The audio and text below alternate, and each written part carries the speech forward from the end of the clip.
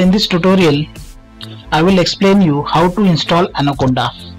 So Anaconda, it is open source distribution for Python and R language for scientific computing and which aims to simplify the package management and deployment.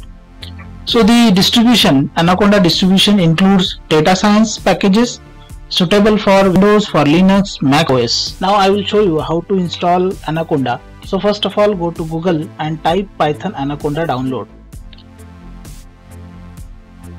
Download. Click on first link, individual edition.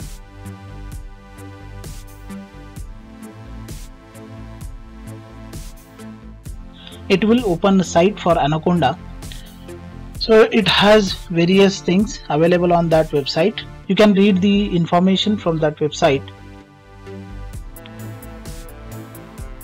now go to download click on download. It will take you to the various uh, installers for windows mac os linux.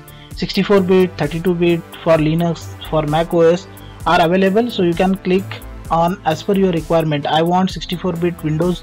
So I have clicked on 64 bit installer for Windows. So it will take some time for downloading.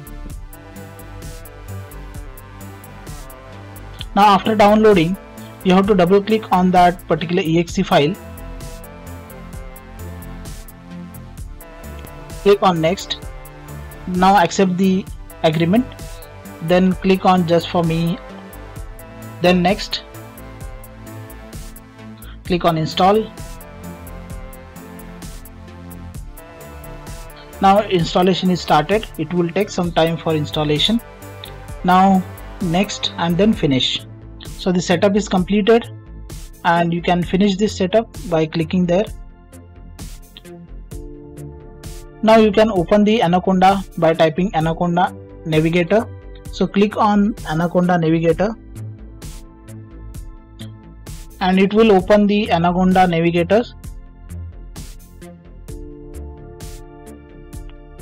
it will take some time for opening. So you can see here it will take some time for initialization and here is the anaconda navigator